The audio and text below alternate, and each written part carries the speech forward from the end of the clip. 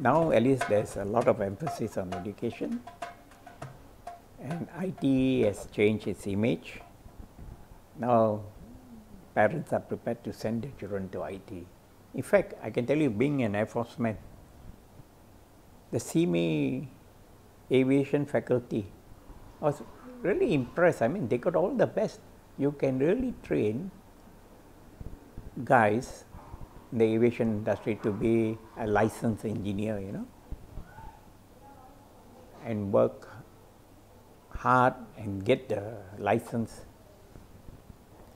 So that means even though you couldn't get into poly and you know these are the top 60 percent, the 30 40 percent, least there's an opportunity now because he has learned to maintain the aeroplanes all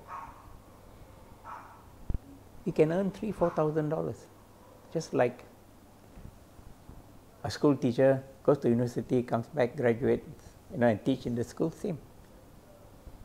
In our early days, only the people who are educated with qualifications can earn good money.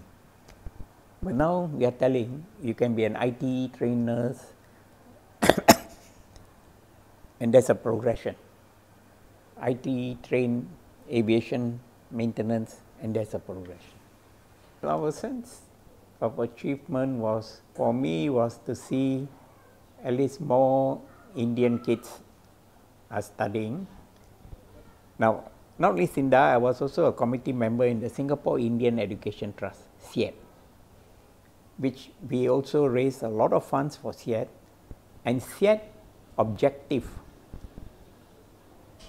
which our president. Nathan always used to say, make sure that we can try and produce as many graduates. So, what we did is we targeted all the poly students and as any all the polytechnics at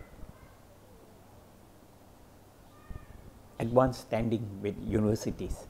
That means you come up with a diploma in electrical, mechanical or civil, then we will tell this particular person, look, we'll give you a loan, get a place in accredited universities and come back as an engineer.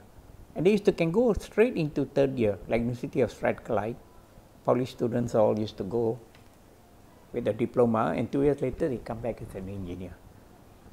So during my term in Singapore Indian Education Trust, we did send quite a number of students to upgrade and get their degrees.